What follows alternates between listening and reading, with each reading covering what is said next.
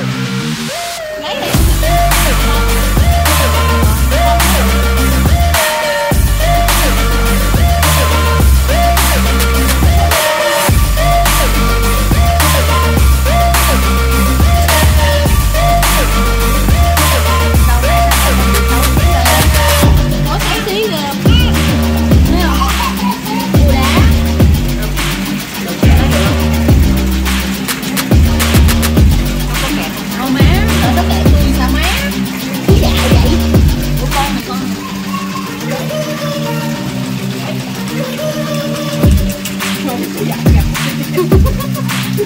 chơi chơi cứ dạy.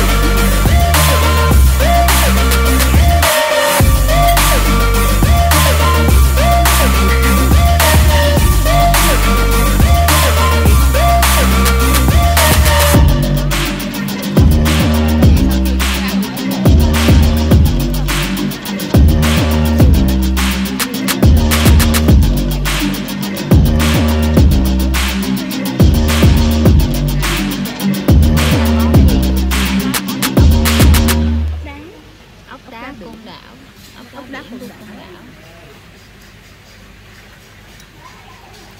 hai vợ chồng em đi xe máy á, mà ra cái gì cồ mấy cái chỗ mà bán hải Rồi nhúng lại nhúng lại đi. À lấy một miếng vô ốc gai nè thấy không? Thì mình lấy miếng ốc gai mình nhúng vô nước mình lắc lắc lắc lắc lắc nè không? Nước này là nước gì vậy? nước dừa. Đó. Nước dừa có xả có ớt ở trong đó Chỉ đơn giản vậy vậy thôi xong mình chấm? Nước mắm. Cái mình bỏ vô hạnh này thôi. Nó tui á, nó dai sừng sực á. Dạ. Chân chua có bớt.